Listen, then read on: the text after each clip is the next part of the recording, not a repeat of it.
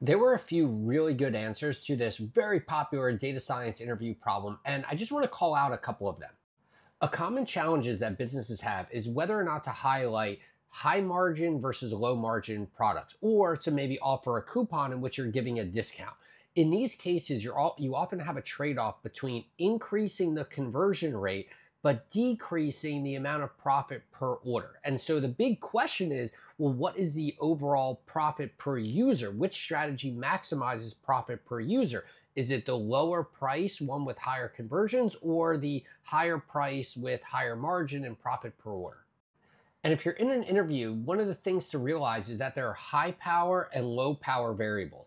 And profit per user, because it has such high variance, is actually a low power metric, it'll take a real, it could potentially take a really long time to get an experiment where you can get a reasonable statistical significance.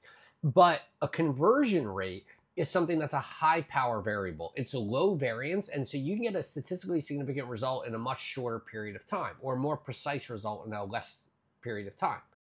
So I like here that Mario really explicitly called out the trade off that profit per user would take a longer time to measure and if you look further in the comment, he called out that this is a really short season. We don't have three, four, five, six months to run an experiment. We have maybe a one month holiday season. And so, depending on the length of time it takes to get a reasonable precision on profit per user, that would really influence our decision on which metric to focus on.